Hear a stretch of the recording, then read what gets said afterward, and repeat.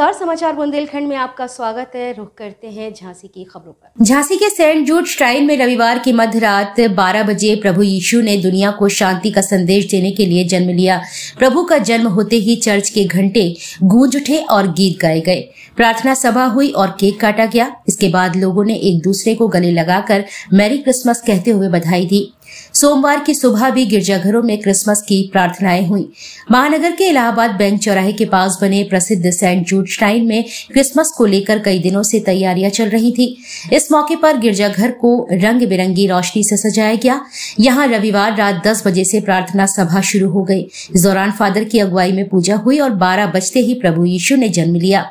इसके बाद प्रभु यीशु के शिशु रूप में शिशु रूप को चरनी में रखा गया। लोगों ने प्रभु के यीशु के लोगों ने प्रभु के शिशु के रूप में दर्शन किए।